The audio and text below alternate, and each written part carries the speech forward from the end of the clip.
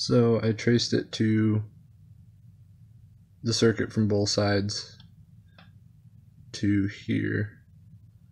This diode array where it seemed to be seemed to be where the trouble was. Everything was connected on uh, both sides. Traced it from this chip, the video encoder, the MAVNUS. Uh, took a look at all the capacitors again too, uh, especially the ones in this area that I thought might could have affected it in some way. Um, but it turned out to be, I think uh, it was one of these. I just resoldered, uh, put a, just a dab of flux on each of those diode arrays, uh, DA7 and DA8, and reflowed them, and plugged it back in to S video, and it seems to be working fine.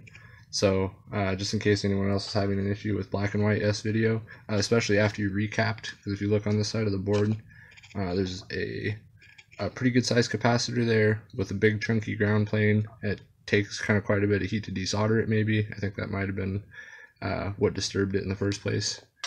So um, just a little tip there for anyone with a black and white S video on their N64.